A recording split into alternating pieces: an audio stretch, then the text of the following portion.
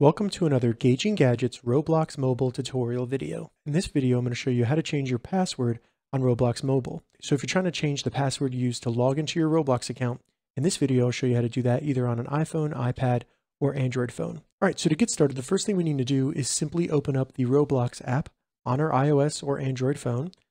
From there, we need to open up the menu by selecting the circle with the three dots in the bottom right of the app. Once the menu opens, scroll down until you see settings, go ahead and select settings. And then once we're in settings, select the first option for account info. Now that we're in the settings, all we want to do is find password under account info right there, then go to the right of password and select the pencil. It should be the third pencil down. Now, as you can see, we need to enter our current password, and then we can enter our new desired password below. And once you've done that, select update, and then you will have changed your Roblox password. Keep in mind, if you don't know your current password and you're trying to recover your Roblox account, check the description because I will have a tutorial going over that. All right, that's how you change your Roblox password on a mobile phone, either iPhone or Android. If you have any questions about this, leave a comment below. I'll get back to you as soon as I can. If you'd like to see more Roblox mobile tips and tutorials, check the links in the description.